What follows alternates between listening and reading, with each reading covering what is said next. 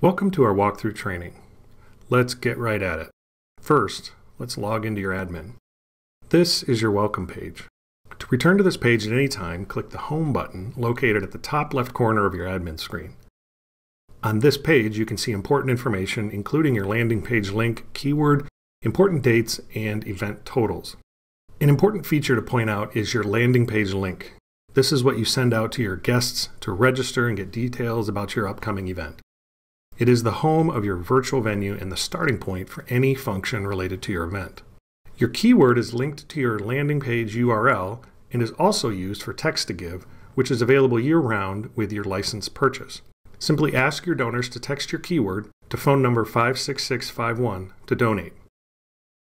If you're one of our wonderful Canadian organizations, donors can text your keyword to 855 800 4975. The important dates section shows you the auction start, auction event closing date, and phone support dates for your event. These can be updated by an account manager, which you can reach by clicking the hyperlink within the important dates box or the chat button. A quick note about event closing times. Your auction event closing date is the ending point of your auction. However, each auction item can have its own closing time before this date. Make sure all your items are set to close at the correct time. The good news is that phone support is something we offer to all our clients on the day of their event.